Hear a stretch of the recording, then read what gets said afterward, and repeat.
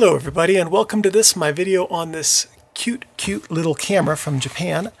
A camera that I think will excite a lot of people. It's a Minolta 16 II. The Minolta 16 II is a sub-miniature camera. Now what that means is it shoots images that are a 10 millimeter by 14 millimeter negative, which is a little bit smaller than a 110 negative. So it is uh, it uses 16 millimeter film on a special type of cassette. Right, I have the cassette right here, and I do not have any film for it, so we'll kind of muddle through that part of the video. Uh, it has no light meter, has a guillotine style shutter, shutter speeds of 1 30th to 1 500th, as well as bulb, and then the flash sync on this camera is at any speed. So very capable little camera, especially given the size and just how much they packed into it. And by the way, these cameras have a lens that has a really good reputation. It has a 22 millimeter f2.8, which is a very, very small little lens, but um, they have a, a good reputation for being quite sharp. Let's see if I can show you what the lens looks like. There you go. So you can see, very tiny, but um, that's okay. Probably still, well, I haven't used this camera yet because I don't have any film for it yet, but I trust that it's very good. The target market for this camera would have been casual users. In fact, the first version, the, the, the one, which this is a two, but the one was really heavily targeted at women and not in a like affirming way definitely in the more of the condescending, hey, little lady, wouldn't you like to carry this around in your purse sort of way. The, they did away with a little bit of that terminology and approach to the marketing by the time they got around to the two. But um, casual users and women were still very much their target audience. And, and a big difference between the one and the two. In the two, they talk extensively about keeping these in the size in your purse, being the size of a makeup compact, things like that. It, with, that's for the one. With the two, they talk about it being a purse-friendly or a pocketable type of camera. So they were broadening their horizons a bit. The the two was a very interesting camera. It came in a variety of colors, including silver, which this one is, and that was called chrome. They also made black, green, gold, red, and blue. Of those, personal preference, I think the red and the green look the best. They are very sharp cameras. The film magazines for this were sold as disposable or single use, but they are so, so easy to reload. Once you have a piece of 16 millimeter motion stock or a piece of 35 millimeter that you cut down the middle to turn into 16 millimeter high film, the same way that you might do it for respooling 110, you just take a length of it and put it in one of these sides. We'll figure it out when we take the camera apart. And uh, then the camera does the rest through magic. Honestly, I'm not 100% certain how this advances film. There's, there's like no, nothing to connect it. Anyway, we'll see. We'll see how it works. I mean, not really. I, I don't have any film to put it in into it, unfortunately. Um, maybe I will. I'll probably grab some film and, and make it to put in there. Anyway, the um, if you want to, re- if you have one of these and you want to respool it, check out the link to the to the instruction manual. Page 11 discusses how to respool the film. Um, now, the, the manual for this camera, as I said, doesn't really have any specs in it. It spends a lot of time for uh, covering rudimentary operation, which is another indication that this was meant for casual users. And, uh, you know, all of that said, the whole Minolta 16 system, a whole a whole supporting system was available, including an enlarger specifically for the size of negatives that this would take, many, many, many filters, and there was some support for things that were, would have been of interest to and used by more serious photographers. So focused on this, focus on this lens, the one that's in, in the camera here, is fixed at nine feet which means that there's no adjusting the focus, it's no autofocus. The optimum focus point for this lens is nine feet from in front of it. So that's a perfect shot for a perfect distance for group shots or scene portraits, things like that. As the aperture stops down, the depth of field will increase backwards from that 9 foot point, so into the distance very quickly.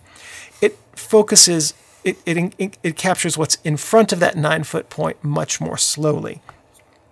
The submin.com link in the description provides a depth of field table for the camera with and without filters. And in a nutshell, this camera will not reach infinity until you hit f16.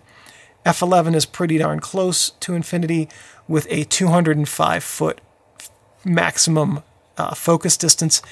Honestly, that's functionally infinity. Infinity is calculated as 200 times the lens focal distance. So 22 millimeters times 200 is, what's that, 440 millimeters? No, 4,400 millimeters, which is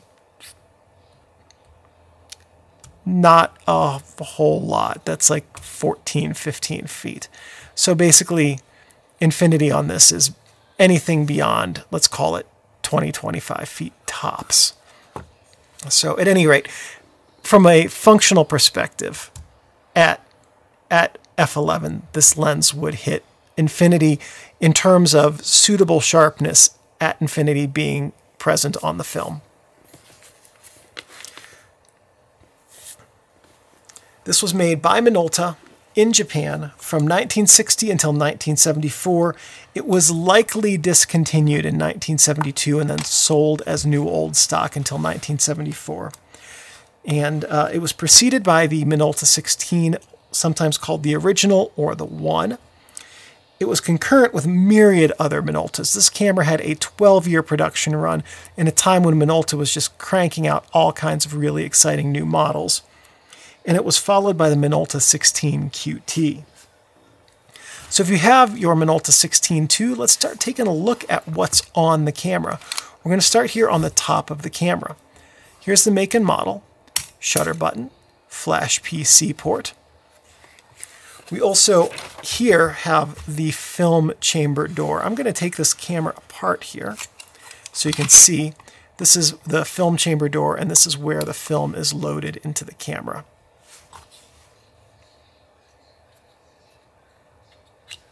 Still don't understand how that's going to work. Oh, that's how it works. That's a separate piece. Okay, that makes sense.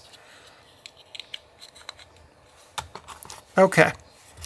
Anyway, back to the outline. All right, we'll go to the camera's front next, which has your viewfinder window right here, which you can see through when you actually open up the viewfinder. This is your lens uh, cover and your lens, and there's that blue dot tells you that you are ready to fire but have not yet fired. After you take a picture, a different panel slides into place without a blue dot telling you that you have fired and you now need to rearm the camera to take a photo. On the camera's back, we have the viewfinder window, so if we open it back up, that's what you would look through to sight up your image. On this side of the camera, we have the aperture and shutter dial. So this allows you to manually set your aperture, and this allows you to manually set your shutter. And then down here is the serial number. On this side, we have nothing. On the bottom of the camera, we have your frame count window, and I'll show you how to reset that when we load the film. And uh, that's, that's really it. So basically, the action of opening and closing the camera causes the film uh, counter to advance if you are not set to empty. Inside of the camera, as we saw, we have the film chamber. We looked at that. So when loading this film, the first thing to note is that it uses what are called the Chiyoda 16 millimeter film cartridge, and this is one of those. Basically, the film would go in here that is unused, and then some of it crosses this little gap here, and then it connects to this part right here, which spins, and it is taken up by the camera. Let me grab some old film and I'll show you how it works. All right, so Kodak 200 Gold. This is one of the worst films to use today. Anything, when this expires, this stuff turns absolutely unusable. So this is a little film slitter that's going to cut our um, film from 35 millimeter down to 110 size.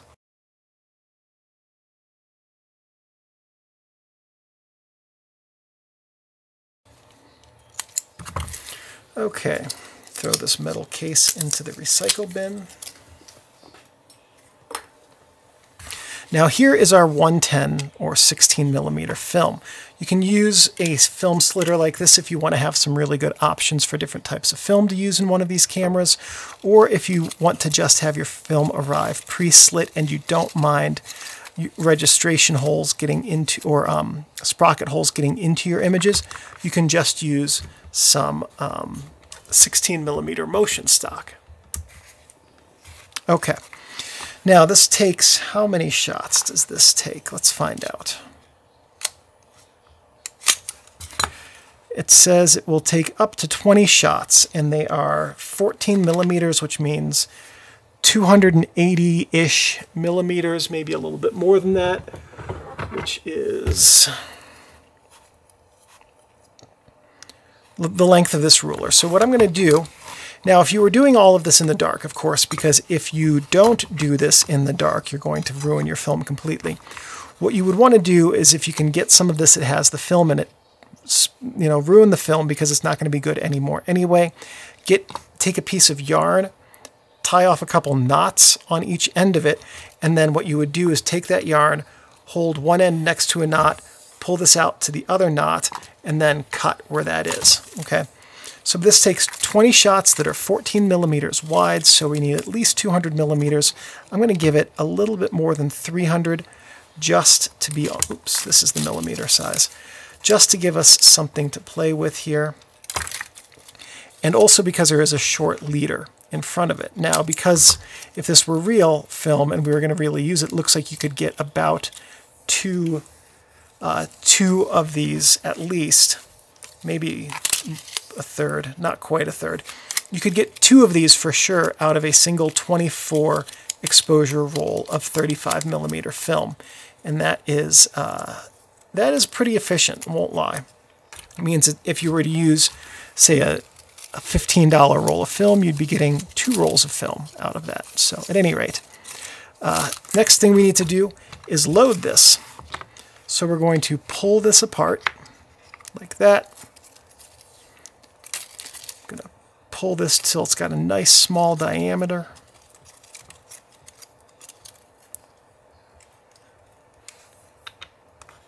There we go. Now we do need a little bit of tape. Do I even have it? Yeah, I have tape. It's right here. Okay. We do need a little bit of tape for this because we have to attach the film to this inner workings bit right here.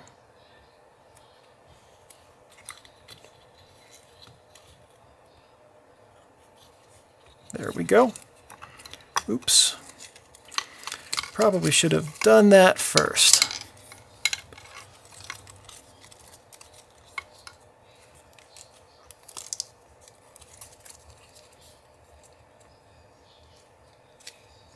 Okay.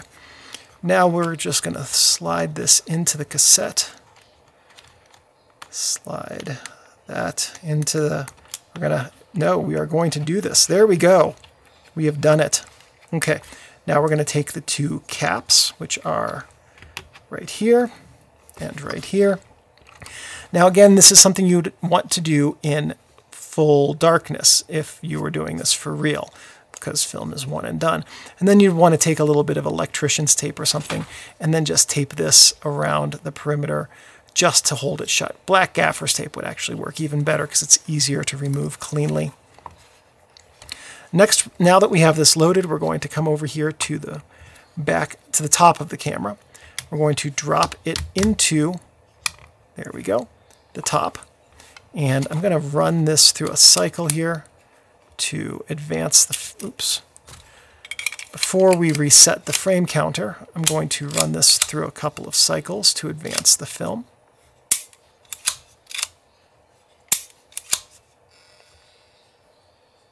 Sounded interesting. Okay.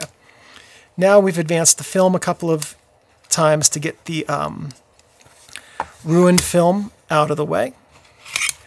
Now, this is the frame counter, and the way that this works is when the camera closes, this mechanism, this um, right here, will activate a mechanism that advances the film.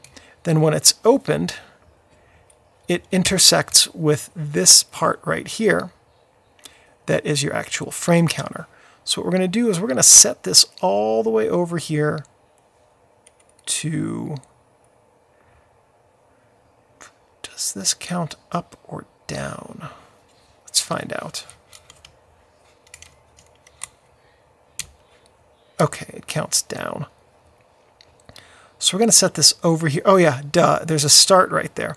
So we're going to set this to start, which is what I should have just done at the very beginning. Looked to see if there was one of those. Now we put this back onto the camera. And with it at start, now this is the part where we advance it a couple times. And that takes us past the bad film at the very beginning. So that is what you want to do. You don't need to do that independently. Okay.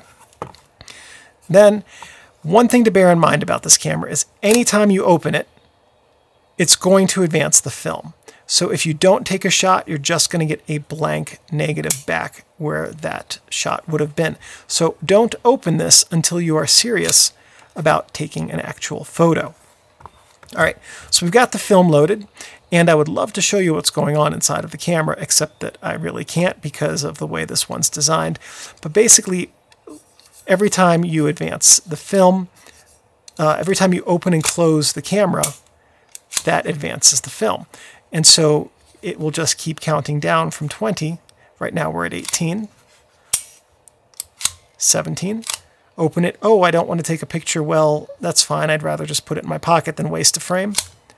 Counts down to 16, down to 15. And actually, I guess it counts down when you open it, not when you close it, but you, you get the point.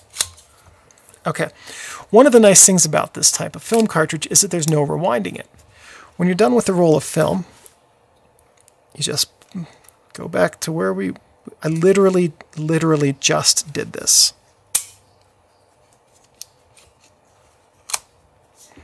I guess maybe, maybe it won't let me do it until I've, nope, there it goes. I just was weak and not pushing it hard enough. Okay, so after you've used a roll of film, then what you will do is open up the back, pry this cassette out, and send it off to be developed. Now, in real life when you do that, you can see we actually burned through a big chunk of that film. I might not have cut it quite long enough. I might only have cut it half as long as it needed to be.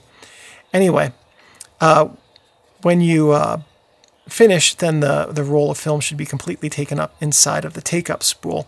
And then you would just uh, pull it out in the dark, of course, again, to um, send it off to a lab to be developed. Next thing let's do is let's talk a little bit about the flash with this camera. The flash, it does not have a hot shoe or a cold shoe. There, there was an adapter for these that allowed them to have a hot or cold shoe that you could mount to it. And then um, they were they're a little bit not too badly bulky, but they did add a little bit of space, a little, a little bit of mass around it. So if you're going to use a flash, you either need that to connect so you can mount the flash on the camera, or uh, you're going to want to just handhold the flash. Now the, this has a flash PC port, which is this port right here. And what the PC port does is it uses a cable like this one. You plug the cable into that port, and then the cable connects to your flash, and that is what triggers your flash. If you don't have a PC port cable connection on your flash, what you need to do is get a hot shoe to PC port adapter. They usually run about five bucks and use that to, um, to connect your flash to your camera. If you're going to handhold it, you're in pretty good shape. What you can do is arm your camera, hold your flash off in your left hand, right? Sight up your image, and take your picture. And that's actually a really good way to do it because it gives you a lot of control over where you're going to point your flash. And when you're using a flash, a good technique is to have your flash bounce off the ceiling if you're in a space and then back down onto your subjects because that mimics the natural light that we're used to seeing. So at any rate, that's a good approach to doing that. And because this doesn't have a focus that you have to mess with, once you have your, your settings dialed in, and you can of course use any shutter speed with this with a flash, then you're in good shape to just hand hold the flash in one hand and the camera in another. And there you go, Bob's your uncle. You can uh, uh, take flash photos. One quick note. Uh, the flash syncs at all speeds with the X flash. If you're using M bulbs, it only syncs at 130th, and F bulbs only sync at 130th to 1 125th. But that said, if you uh, most of you who are watching this will probably not be using bulbs. They, they are not common anymore. If you don't have to change the light bulb after every single use, then you are using an X flash and can use any shutter speed. Uh, let's go through the process now of how to take a photo with this camera because it's pretty simple. You'll, I, you'll need a handheld light meter because this doesn't have one built in, or a smartphone app. And what you'll do is you'll dial your film ISO into that light meter and then it will, you'll figure out what your available shutter speed and aperture combinations are. And you'll get those dialed in. Okay, so 160th at f5.6. You'll open this up. You'll look through the viewfinder here and you'll sight up your frame and then you'll take your picture. And then you'll close it, and that's it. One drawback to this camera's design, you cannot do double exposures with it. There is no option for that because every time you shut the film, the, the camera, you advance the film, and that also um, rearms the shutter. So there's no way to rearm the shutter on this camera without um, closing it, so there's no way to get a double exposure. Some things not to do with your camera. Don't store the camera with the shutter ready to fire. So whenever you're done for the night, trigger the shutter even if you waste a roll of film. Now the reason is because when the shutter is armed, there's a lot of springs in there that are under tension. And if you store them when they're under tension, they'll start to develop a memory over time. And that can affect your shutter speed timing, or those springs can become fatigued and break, which will cause your shutter not to work at all. Don't leave your camera or lens in your car because uh, heat damage is not something that you want. It's honestly, this camera is about as resilient to heat damage as any that I have ever come across with the way it's designed. However, lubricating oils getting into the shutter, if they get really thin because they get really hot, and getting into the shutter mechanism, and then when they get back to their normal temperature and viscosity, uh, gumming up the works, or getting very cold, breaking down, and getting gummy, could affect your shutter timing. So it's a really good idea to just keep this in your pocket and take it inside, even if you're just making a quick stop. Definitely don't leave it in your car for days or weeks on end. Don't store your camera in a plastic bag or box because that can cause fungus to grow on the lens. Plastic is permeable, so water can get through it.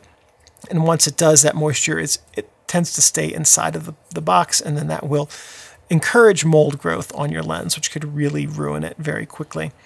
Uh, also, if you're going to keep it in a plastic bag or box, use a very high quality rechargeable desiccant pack and keep it recharged.